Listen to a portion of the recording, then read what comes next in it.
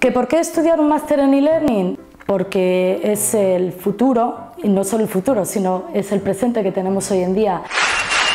Los estudiantes de hoy en día, en su gran mayoría, son nativos digitales. Han nacido con un ordenador, un teléfono o una tableta bajo el brazo. Por lo tanto, a los profesores nos toca adaptarnos a esas necesidades. En el máster de e-learning se van a aprender técnicas y metodología aplicadas específicamente a la enseñanza digital y también aprendizaje a través de Internet. Por lo tanto, yo os animo a todos a que os suméis a este máster de e-learning y estoy segura de que va a ser muy productivo para vuestro futuro profesional.